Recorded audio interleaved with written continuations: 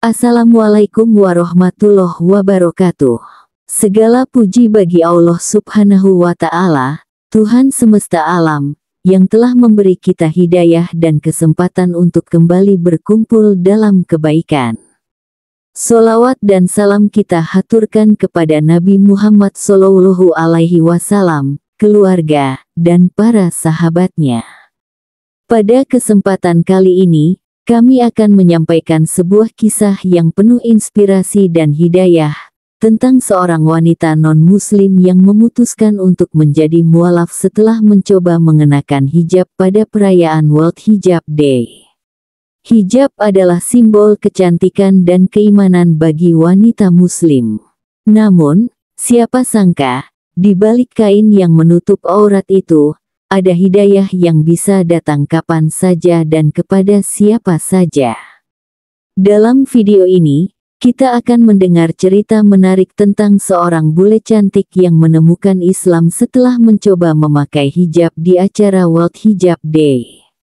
Apa yang membuatnya tertarik kepada Islam? Bagaimana proses spiritual yang ia lalui? Semua akan terungkap dalam kisah penuh makna ini. Mari kita simak bersama. Judul, Cerita Bule Cantik Jadi Mualaf Setelah Mencoba Pakai Hijab di World Hijab Day. Kisah perjalanan mualaf kali ini dari Ashley Pearson Han yang berasal dari negara bagian Arkansas, Amerika Serikat. Ia merupakan salah satu perwakilan World Hijab Day dari Amerika. Ashley mengungkapkan perjalanan mualafnya di akun YouTube Trifty Kurota Aini, yang merupakan perwakilan World Hijab Day dari Indonesia. Ashley sangat antusias ketika menjalani puasa keduanya tahun ini.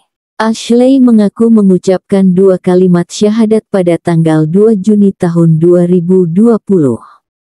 Ramadan tahun ini sangat baik. Ada beberapa kali aku tidak minum dan makan sama sekali. Saat itu lebih sulit, tapi secara keseluruhan semuanya berjalan dengan baik, tuturnya. Ashley menceritakan waktu puasa di Arkansas, Amerika Serikat cukup panjang. Aku biasanya bangun jam 3 atau pukul 4 pagi untuk makan. Dan aku sempat persiapkan makanan dan makan biasanya saya tidur lagi.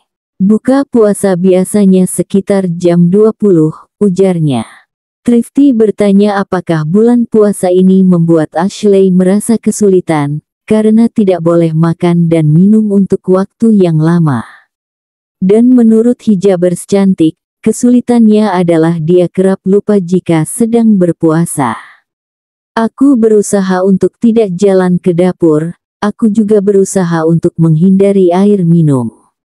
Karena aku khawatir minum secara tidak sengaja, karena nggak ingat lupa lagi puasa, jelasnya. Caranya agar tidak ingat dengan haus dan lapar adalah dengan menyibukkan diri dan beraktivitas. Aku sering kepikiran gitu sih.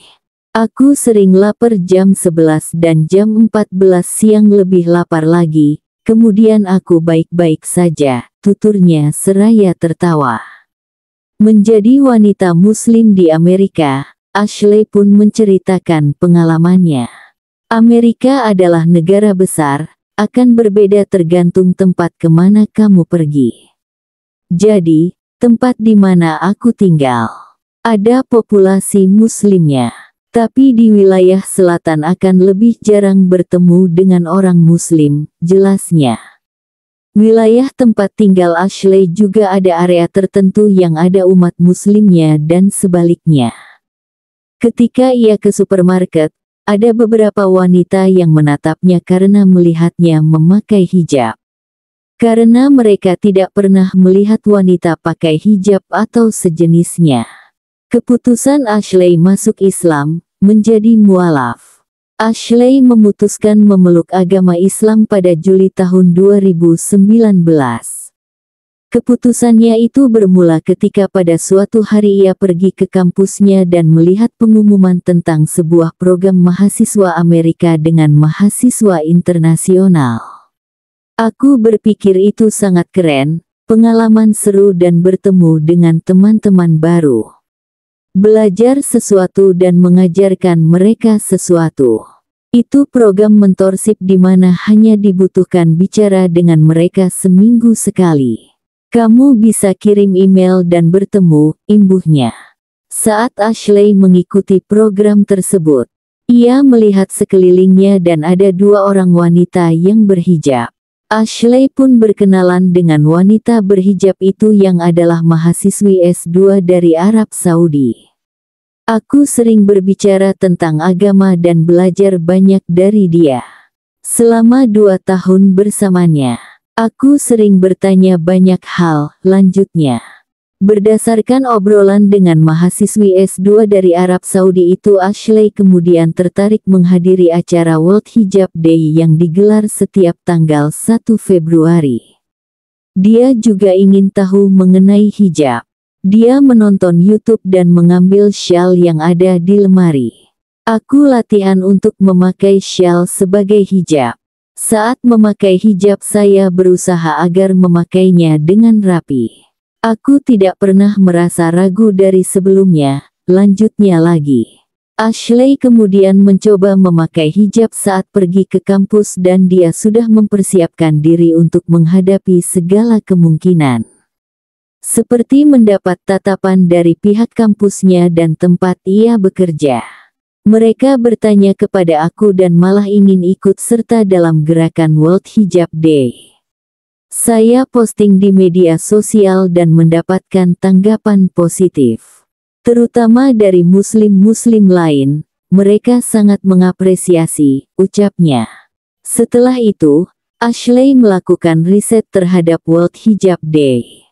Dia mengaku ingin menjadi ambasadornya. Keinginan tersebut pun tercapai pada 2017. Ashley saat itu ia mengikuti beberapa acara dan memakai hijab, padahal dia belum menjadi muslimah.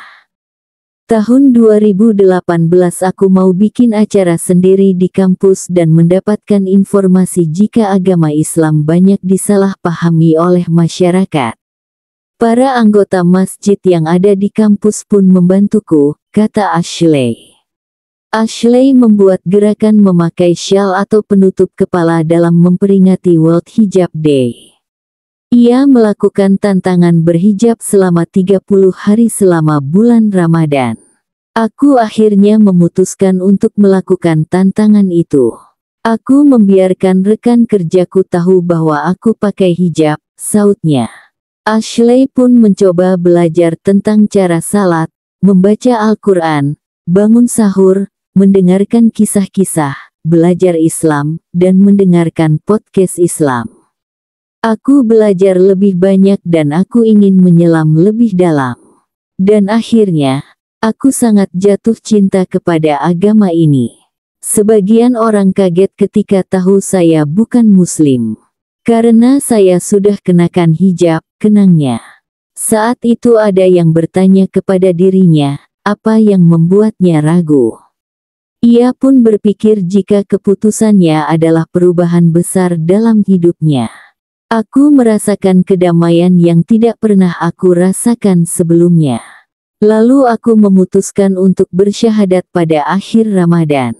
Aku tidak bisa menggambarkan dengan kata-kata. Sangat luar biasa, aku bersyukur dan Allah sangat mengkaruniaiku, katanya lega. Tantangan Ashley menjadi muslim di Amerika. Memeluk agama Islam di negara yang mayoritas penduduknya non-muslim pastinya tak mudah untuk Ashley Pearson Han. Dia pun berusaha membuat orang di sekitarnya memahami tentang kebudayaan Islam pada saat bulan suci Ramadan. Apa itu puasa dan lainnya. Ketika berada di lingkungan kerja, teman-teman Ashley yang biasanya mengajaknya makan siang. Pada momen itulah biasanya dia harus memberikan penjelasan mengenai ajaran Islam saat Ramadan. Restoran mulai buka, orang mengajak aku keluar untuk makan. Dan aku nggak bisa lakukan itu. Seperti itu sedikit menantang. Aku bersyukur cuaca nggak makin panas. Karena pastinya lebih menantang kalau cuacanya panas, ungkapnya seraya tertawa.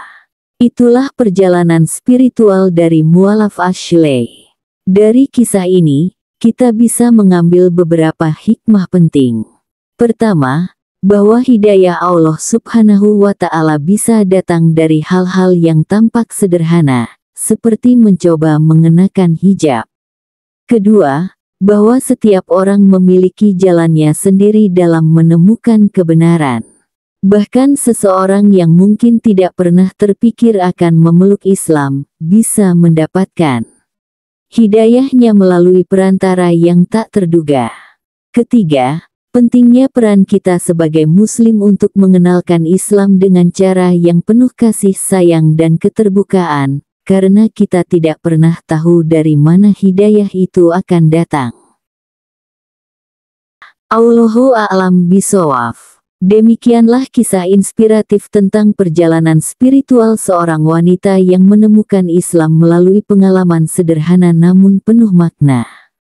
Semoga kisah ini bisa menginspirasi kita semua untuk terus mendekatkan diri kepada Allah Subhanahu wa Ta'ala dan menghargai keindahan Islam dalam setiap aspek kehidupan. Jangan lupa untuk like, share, dan subscribe channel ini agar kita bisa terus berbagi kisah-kisah inspiratif lainnya. Akhirul kalam. Wassalamualaikum warahmatullahi wabarakatuh. Sampai jumpa.